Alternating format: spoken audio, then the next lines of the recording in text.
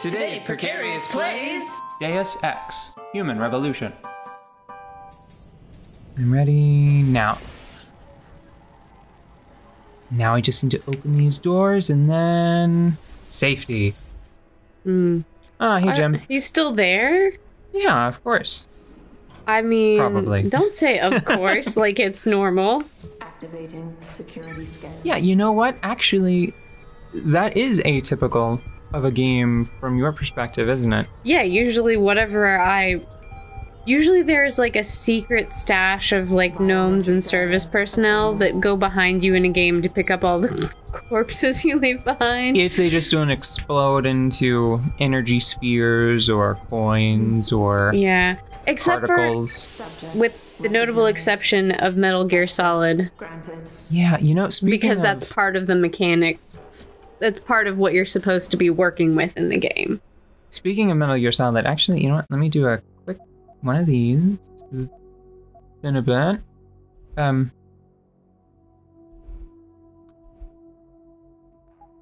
There's a reviewer I like online. Yeah. His name is Matthew Matosis. Yeah.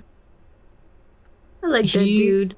He had an interesting point to make about the first Metal Gear on the PlayStation, which is that it could have been a bit longer. the moment to moment gameplay Mm-hmm. with a little bit of padding. And I get that because if you if you do a head count of the number of enemies there are to interact with, because you're not really fighting exactly, but Mm-hmm. the number of guards that act as challenges, Mm-hmm. I think it's something like 20 in the entire game. Mm-hmm. That's it. Wow. Yeah, there are, I think, more than that because of action sequences. Um, but actual guards that you are intended to sneak around, I think that there are only a couple dozen.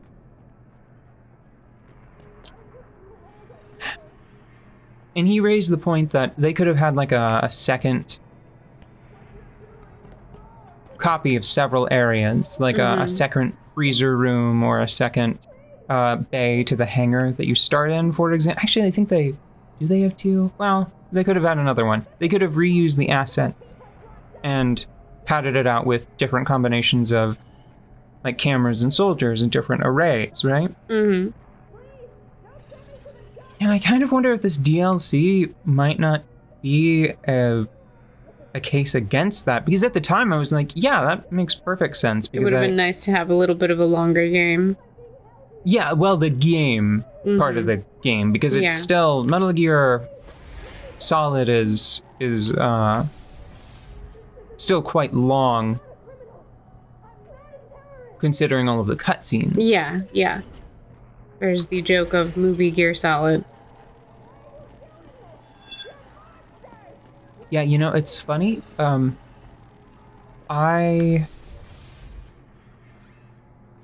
I think I started with 3 and I feel like outside of uh, the first first few hours, Mm-hmm. basically it's the the virtuous mission Mm-hmm. because you have the virtuous mission and Operation Snake Eater. Yeah.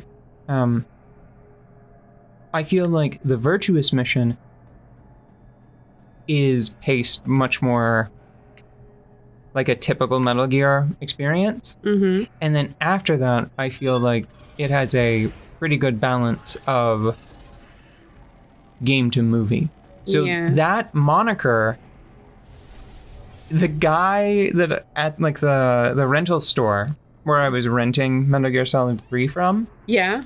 was like, "Ah, you're going to play Movie Gear Solid."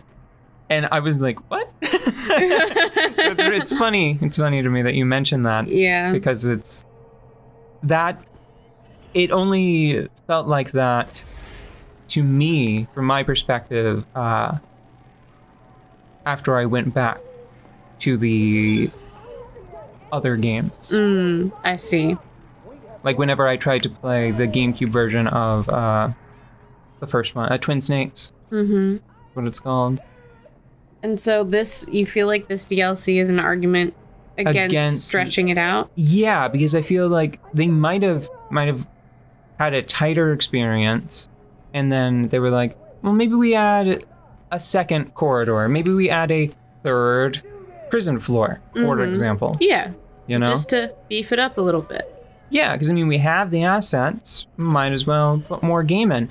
But I think that the. I think that. I wonder if you could play this independently.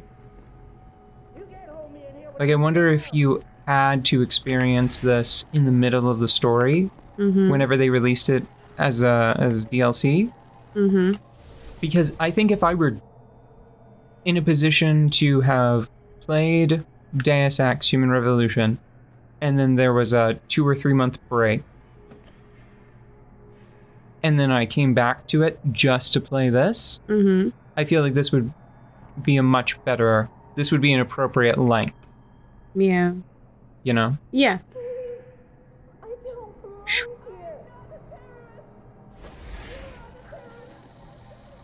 Boy, that thing is unfriendly looking. Yeah, I'm gonna assume. Like, I don't know why I would trigger that laser, Yeah. But I don't want to test it. Yeah. I'm like, I don't want to touch it. Don't touch it. And also, this is, I, I didn't really think about it before, but having to do this is a bit of a pain. But is it? Because I think that they had some more guards patrolling, Yeah. but it was kind of nice. And that was much faster than the first time I went through there. Yeah. Because I, I already knew the layout. Yeah. So maybe that's kind of nice. Being able to learn a space and then go back through it.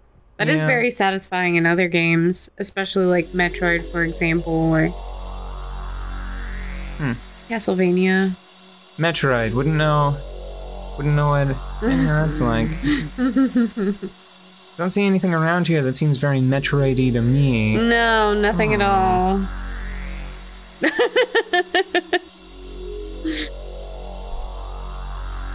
oh my god. so, I'm just all tore up about the whole idea of this entire situation that this DLC has put us in. Yeah. Yeah. Uh, this specifically what's going on in this red corridor that is being supported by the entire base. Hmm. Oh, that's one interesting thing that I, I didn't notice What? until I saw it back as footage. Yeah. So it's one directional glass. oh. So these are actually mislabeled because they're not interrogation rooms. These are observation rooms. Oh. Dang signage order didn't get put through right.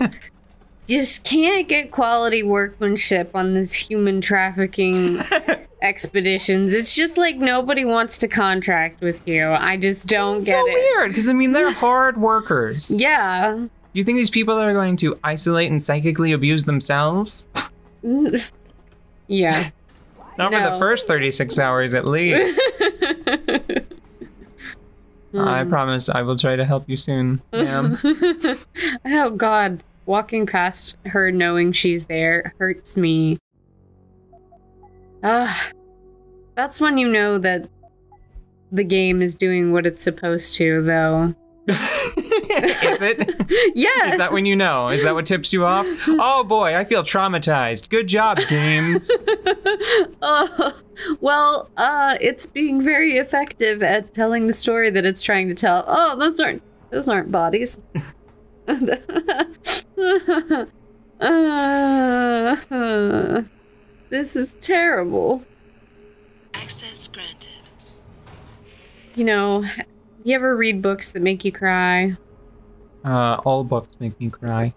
I'm very susceptible to paper cuts. Hmm. That's suspicious. Oh. Um, oh, oh, how far down? well, not that. I'm just thinking that that looked awfully playable. Oh, am I going under the water? I would prefer not. If we could avoid it, I Jensen, would it's rather. Geithner. Where are you? In a well-concealed elevator inside the prison's restricted wing. Your gun-running neural engineer deserves a raise. I take it the eye worked then. Good. Now listen, if what you say is true, If Burke really is using the prisoners here as lab rats, I need proof. Hard evidence that I can take to Interpol. An entire prison full of kidnapped civilians isn't enough?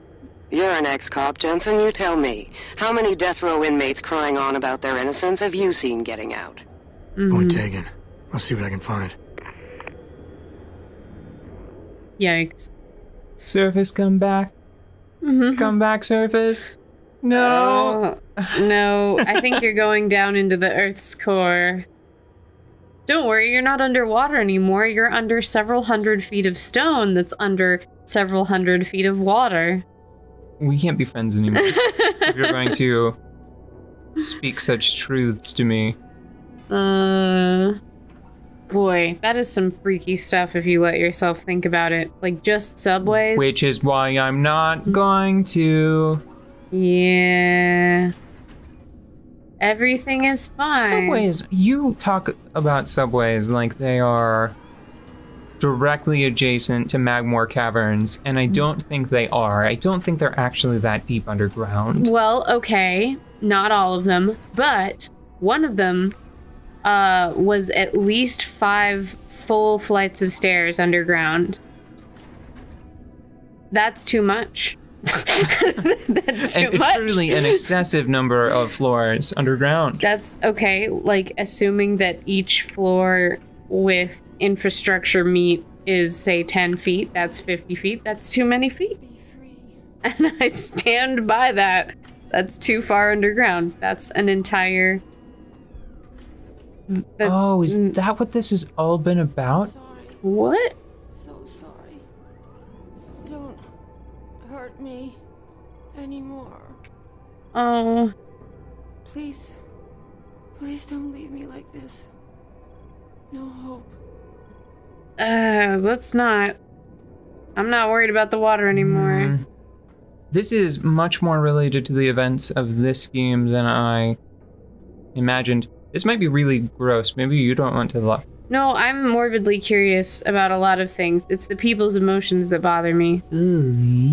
That's so That's cool. Die. Okay, the tables have turned.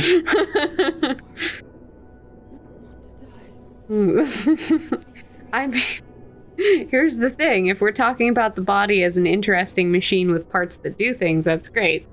Uh, and as soon as it's hurting people, it's not okay anymore. So sorry. You know, that's definitely where I stand. What is that for? I'm trying to get it on screen. Panchaea. That's the. Think that they're seeding the ocean. It's a it's a borehole, if I remember correctly, staffed with augmented workers primarily. I think it's intended to uh, reverse catastrophic global climate change by seeding the oceans with iron. I think that that's I think that's how it works. Okay, but why the bodies? Completely different project, Okay. or is it? okay.